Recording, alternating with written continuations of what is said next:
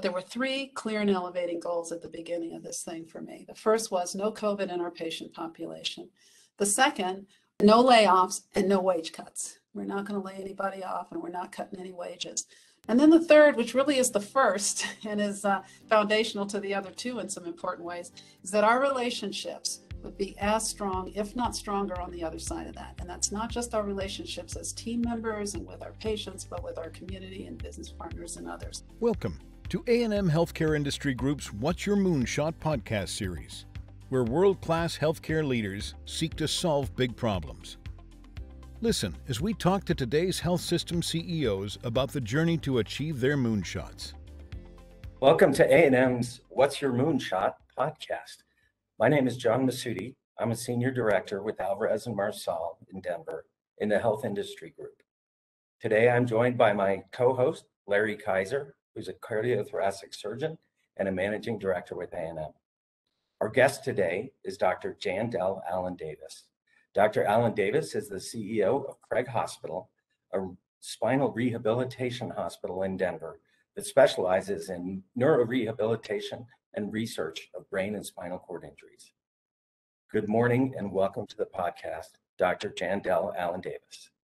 Thanks, John. Um, it's nice to be here and it was nice to be asked. Thank you. Well, Jandel, we are very pleased to have you with us today to participate um, in this podcast series. And, in this series, we focus on a moonshot that a healthcare leader has set out to accomplish um, and, and to make a real impact on their organization, their community, or across the broader industry. Dr. Allen Davis, although you started your medical career in practice, I'm sure, like all of us, you could never have imagined the pandemic that we were hit with in 2020 and that we are obviously still in today, although hopefully uh, going down a little bit now that most people are getting vaccinated. But on top of that, managing a hospital and trying to ensure your patients and employees safely safety during some of these uh, most unprecedented times. With that as a backdrop, can you tell us a little bit about your moonshot, if you will, aiming to have COVID cases across your patient population remain at zero from the onset of the pandemic until now, and how successful have you been with that? Obviously, others have struggled with that uh, as well. So tell us a little bit about what you've been able to do. Sure. Well, first of all, uh, again, uh, thanks so much for the time together with you, Larry. And, you know, it's a kind of crazy thing that you think about what a moonshot is. And I did get a chance to take at least a quick gander at some of the other topics that you all have undertaken in terms of how folks uh, think about moonshot. This was not one that I ever would have uh, imagined in my wildest dreams that I'd uh, uh, be confronting. I, I, have a strong belief, all that said, that there are leaders for a time. Like you end up in the place you do because of some sort of unforeseen or unseen um, um, sort of need or calling. And I love where I get to practice here at Craig Hospital um, in the CEO and president role. Um, given the unique nature of who we serve and how we uh, provide that service, it was absolutely unsettling to find ourselves um, facing this uh, incredibly uh, deadly and dangerous uh, virus that we've been up against. And um, I can, I have in recent sort of months began to um, characterize what we're doing uh, in this way, because I do believe this is our hurricane, our tsunami, you name it. This is the disaster that's been um, that's been laid at the feet of healthcare. And in acute care hospitals, if you use the firefighter um, analogy, their job is to contain the fire, or that is contain the virus within some um, part of their hospital. The fact is that in acute care hospitals, that's where people go to get treated for COVID. We have to keep our our forest um, virgin, virginal. We cannot let fire in at all. And so it's been an interesting uh, space to occupy in terms of uh, being that uh, first line of defense for our patients and really, we know that one of the critical parts then of fighting the fire is how I behave, my teammates and I, the thousand plus employees of our, us here, let alone the consultants and others who come in to care for our patients. Um, we've got to be pretty careful about how we interact out in the community. And I can tell you that um, here it is, whatever day it is, uh, November 2nd, we're 22 months at least into this um, uh, particular time, and we've had no cases of COVID in our patient population. And relative to, not at all surprisingly, acute care hospitals, and certainly relative to long-term care facilities, um, you know, sort of the, the SNFs, the skilled nursing facilities, and some other sorts of post-acute uh, rehab facilities. Uh, we've had precious few cases in our uh, employee population as well. So to the extent that it's a moonshot, that not, it's not one that was on my bucket list, it's a moonshot. I think we're, you know, we continue every day to just count our blessings, I, I believe, and still say it's not a matter of if, it's a matter of when. And I sure hope that we can get on the other side of that and say, it never became a matter of when. So it would get into the hospital. That's fantastic, Jandel, and you've done a really incredible job there at Craig, keeping your patients safe. What were the most important principles that you followed and in in achieving this great success? Yeah, so first of all, I had three clear and elevating goals that um, sort of, it wasn't like the moment they said we are now in an emergency. I knew this was the three. You know, it took a, a at least a couple weeks to kind of really be in it and actually deal with the shock, both personally and professionally, organizationally, globally, community-wise, what we found ourselves in. But there were three clear and elevating goals at the beginning of this thing for me. The first was no COVID in our patient population. The second um, and we understood very clearly the economic um, uh, implications of how we chose to enter this um, this particular emergency. We being we as a globe, we as a society, with this huge and abrupt economic shutdown of the economy. Um, I said no layoffs and no wage cuts. We're not going to lay anybody off, and we're not cutting any wages knowing that one of the risks that we ran was that we would see census drop because of where 50% of our uh, little, our close to 500 patients come from out of state. So would people actually still want to come or would it be safe or even possible? But I said, I'm not laying anybody off and we're not going to cut any wages. And we're blessed to be in a, the kind of uh, financial um, situation where we could do that. And then the third, which really is the first and is uh, foundational to the other two in some important ways, is that our relationships would be as strong, if not stronger, on the other side of that. And that's not just our relationships as team members and with our patients, but with our community and business partners and others. And so those have been sort of my um, clear and elevating goals, and the team uh, completely embraces them. But then the other was in terms of managing the day to day, whether it was how are you going to manage finances if the if the ship gets a little rocky, or how are you going to manage work from home? You know, the administrative folks who are able to, knowing that there are many who don't have a choice, they have to come to work. Um, I, I remember taking a walk and saying it's really going to be about. While I was on a walk one morning, I said, you know, when you get to these, this is situation management 101. Is what are your values? What are the values you want to use to um, actually enter this. And by the time I got home from that four mile walk, I had them down. The first was safety. And it wasn't just safety from this virus, but it was psychological safety, which is um, part of the foundation and the, the culture of Craig. But what's going to be super important when you're fighting something like this is that people have the ability and are actually encouraged and expected to speak up. The second was um, equity, that we were going to do all and only what was needed to keep everybody as safe and as whole and as supported as possible. The third was fairness. And I had to remind myself of that this morning um, because we're in round whatever of this pandemic and we've got a few people who have chosen not to get vaccinated. Um, most are saying, fine, I won't, I'll do the exemption and I'll get tested. But we got a couple people who've said, I'm not going to get tested. And I say, everybody takes a haircut. That's how fairness works. We're all going to have to feel some pain in this. Um, not because, and not in any intentional way, but because of the, the incredible complexity and complicatedness that we're swimming in.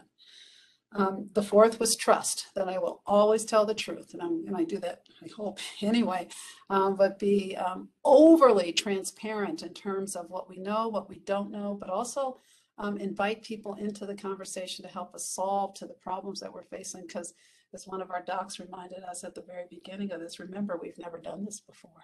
We've never done this before. And then the last one was sustainability. And when I think about sustainability, I think about it in terms of um, the business, because this is a, a vitally important um, hospital in terms of what it does, how it does it for patients who woke up with one reality and went to bed with a very different one, but also sustainability of our emotional and social well-being and, and health as we uh, walk through this. And what I'd say on the other side of it is um, because I work alongside an incredible group of people, uh, that we have uh, managed to get here where we find ourselves today, and we will just call victory today and leave it at that. Um, because we've let those those values um, guide our practices and our principles and our decision making. So. So you touched on it a little bit, but tell me a little bit about the impact on your staff that your strategies and some of these operational changes that you had to make. And we've heard so much about burnout in staff, and maybe it's a little bit less in, in the type of hospital that you run.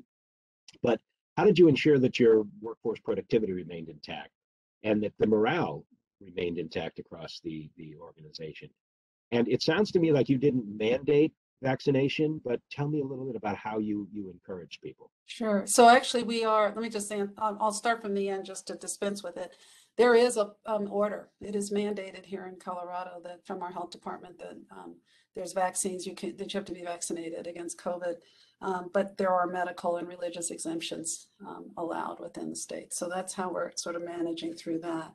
Um, you know, Craig is this really uh, um, special place, Larry. I, you know, I was at Kaiser Permanente for 24 and a half years, a place that has a strong uh, belief around this notion of coordinated patient and family centered care. And I will tell you, and I practiced for 25 years. OBGYN, don't ask, doesn't make sense that I'm in a neuro rehab hospital, but there you are. Um, there's a way that care is delivered here, is embraced here, that's way more akin to certainly how I practiced during that 25 years, but I have never, and in that spirit, I've never seen or worked in an environment where patients and families truly are at the center of everything we do in a sense that allows um, um, these great clinicians to have the autonomy that's needed to do what's right for an individual practice. Um, we work uh, to the, we try to work off of the evidence where it exists um, in the field. It is as team-based and multidisciplinary an effort as I've ever seen. Um, I like to say we have standardized an approach to the care um, in order to customize that care based on what um, individual patients and families need. And it also is a place, surprisingly, that's full of a ton of joy. I remember I say it's not pixie dust that's sprinkled on you when you come in the door, but you can feel a difference in the culture. It's a very casual but not careless place in terms of our how we dress. I am a leader who walks around a ton. I don't know the names of a thousand people, but I know the names of a ton of them and know their stories. And it was as important, then back to your question, um, during this time to make sure that I was super visible. We have used this wonderful and yet also maddening thing called Zoom as a way to stay very, very much connected to people. Um, so we use the virtual, but also the walking around. I think the hardest thing for the team, and there has, it's an interesting way burnout is played out here, because if you think about it, it takes a lot of energy to keep a fire out. Um, it's a different kind of energy than it is to kind of keep a fire contained. And um, this place, I remember when I first got here, I said, this place is crazy. Are kids running down the halls? Because it's very much patient and family centered care families, especially young families, because the average age of our patients is 39, when they come to do the rehabilitation, it is family rehab, because these are devastating injuries, as you well know, given your specialty. Um, and so there usually are kids that I have a chance to interact with. There's we have a really robust uh, pet therapy program. The place is just always bustling with activity, and we had to shut that down at the beginning of this.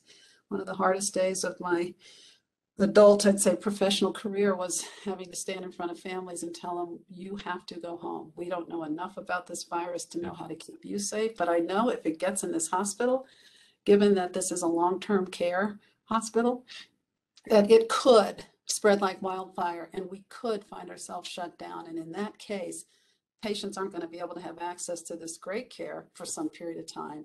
And more importantly, back to sustainability of the business. Uh-oh. so anyway, um, the way that we have kept people's spirits up is to be very much present, very much um, um, accessible. My door, and people know this about me, my door is always open, literally and figuratively. And to actually show um, vulnerability myself, which is, I think, also uh, part of the heart of, I like to think, good physicians, is to be able to say when you don't know and to be able to make sure that you're standing by and standing alongside people. I had a call last week.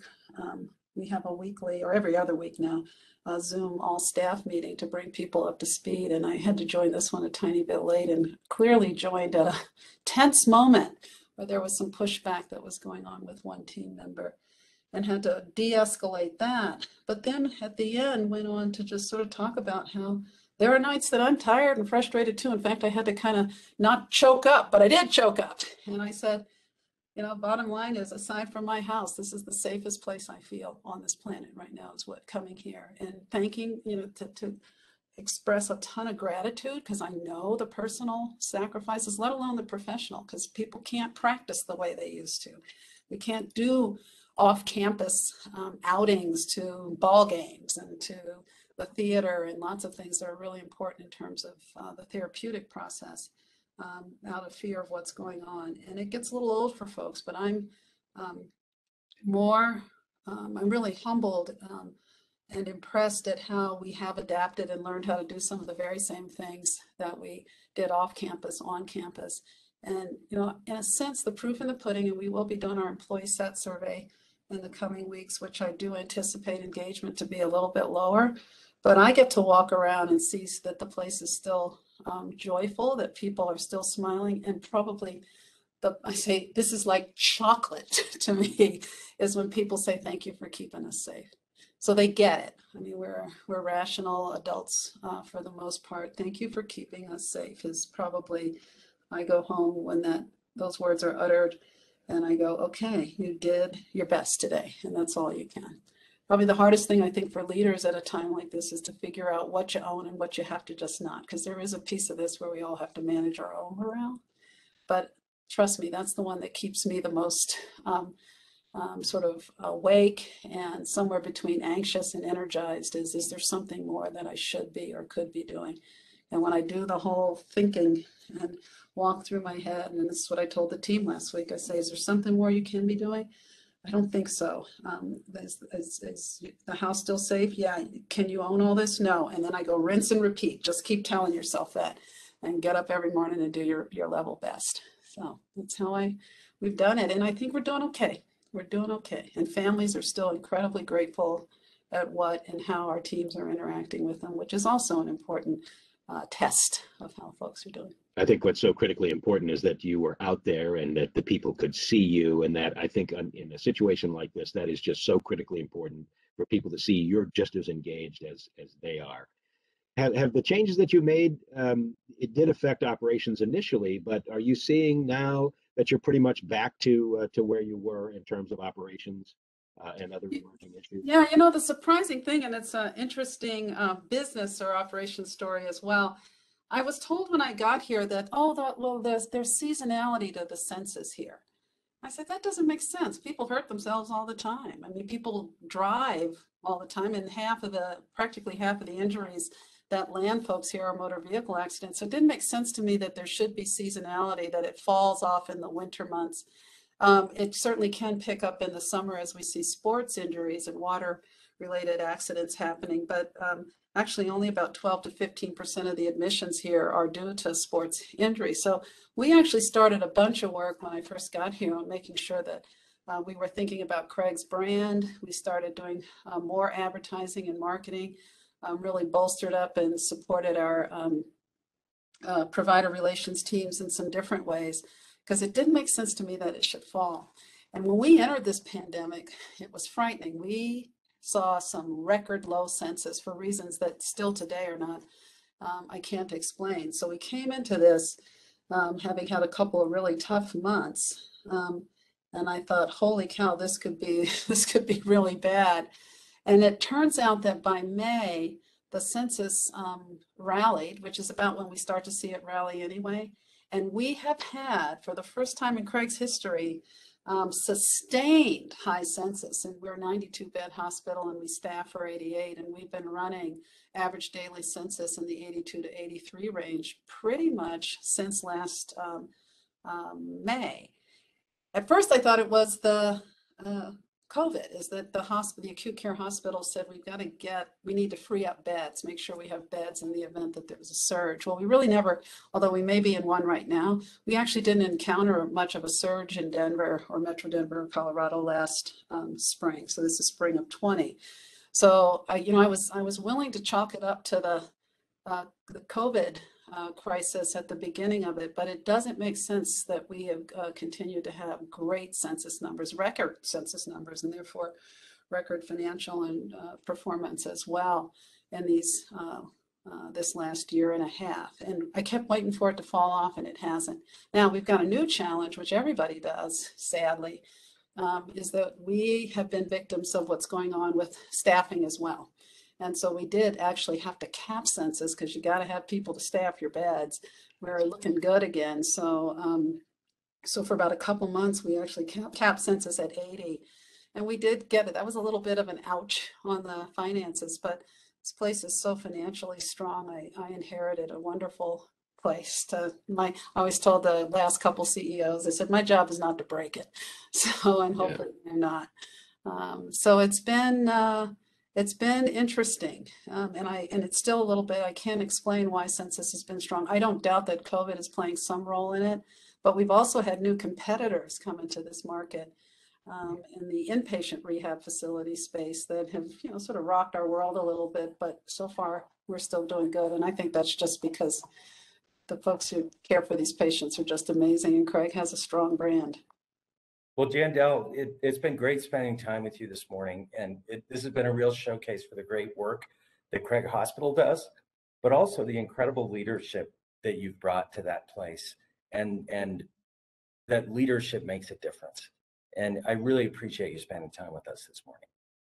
Well, John, you and I have been partners for a long, long time, colleagues for a long time prior to where we both landed. And, you know, we certainly had the um, opportunities within Kaiser Permanente to, to witness great leadership and um, also ways in which that perhaps we could uh, learn from some of the tougher challenges that what we've seen over both our clinical, in our clinical practices, let alone in this one. And it is an honor and a privilege to get to do what I do every single day. And to the extent that there's um, some lessons learned in this that I can share. I'm, I'm just happy to do it. It was it was a great opportunity to hang out with you. It's a- Well, Jandel, we really appreciate uh, you joining us. They're lucky to have you, and you're really your leadership is inspired, and I think it has truly benefited uh, the hospital. So, thank you very much for participating with us today. Well, thank you, and um, and be well. Above all else, let's just be well and keep hanging in. All right. Great, thank you. Thank Bye bye.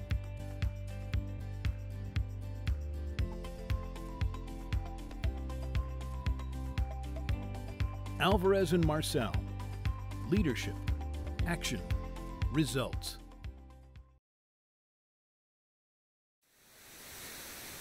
Well, John, first of all, um, thank you for um, securing Jandel. I, I, I thought she had some really great comments, and it- it's a real testament to her leadership uh, as to how successful they've been in keeping those patients safe. So these are patients who are vulnerable, families, and somehow uh, she managed to uh, to hold this all together and some and, and maintain really the morale of the staff. But a lot of this is is really due to her leadership and her ability to be out there. Um, your thoughts? Yeah, I mean, I, I've known Jandel for 15 years, and she's always had that. She's always had this empathy and strength and humility. And it really shows. I mean, here she is. She said, I don't want to talk about it, but she, she's an OBGYN running a spinal rehabilitation hospital. And she's done a phenomenal job. She's gained the trust of her people. She was faced pretty early in her tenure with one of the biggest disasters in healthcare in the last 50 years and and she's handled it incredibly well it hit them right where their strength was which was a, a family environment and they had to pull back on that and they still maintained their their strength and their brand and it's it's really a great story And I think it does underscore her abilities as a leader. Number one, that she's in that position. She clearly has the, the the capability to do this, but I think it's that personal side that really comes out and I think that really shows. And I and I think she she's been able to to get her people really behind her, and they stepped up uh, at a time when they really needed to, as you point out, with this incredible disaster that we have, this this pandemic. Um, and and and her folks stepped up because uh, they saw that that she's the kind of leader that they can get behind.